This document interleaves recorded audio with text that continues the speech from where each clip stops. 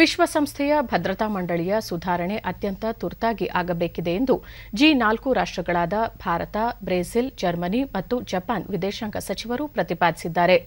ಪರಿಣಾಮಕಾರಿ ಕಾರ್ಯನಿರ್ವಹಣೆ ಮತ್ತು ಎಲ್ಲರಿಗೂ ಪ್ರಾತಿನಿಧ್ಯ ಒದಗಿಸುವ ಸಂಬಂಧ ಭದ್ರತಾ ಮಂಡಳಿಯ ಪುನರ್ ರಚನೆ ಅಗತ್ಯವಿದೆ ಎಂದು ವಿದೇಶಾಂಗ ಸಚಿವರುಗಳು ಅಭಿಪ್ರಾಯಪಟ್ಟಿದ್ದಾರೆ. ನ್ಯೂಯಾರ್ಕ್ನಲ್ಲಿ ನಡೆದ ಸಭೆಯಲ್ಲಿ ಡಾ S Jaishankar, Alberto Franco Franca, Heiko Maas ಮತ್ತು ತೋಶಿಮೆತ್ಸು ಮೊಟಗಿ ಚರ್ಚೆ ನಡೆಸಿ ಈ ಅಂಶವನ್ನು ಪ್ರತಿಪಾದಿಸಿದರು. ಭದ್ರತಾ ಮಂಡಳಿಯ ಖಾಯಂ ಮತ್ತು ಖಾಯಮೇತರ ಸದಸ್ಯ ಸ್ಥಾನಗಳ ಆಯ್ಕೆ ವಿಸ್ತರಣೆಯಾಗಬೇಕು ಎಂದು ಆಗ್ರಹಿಸಿದ್ದಾರೆ.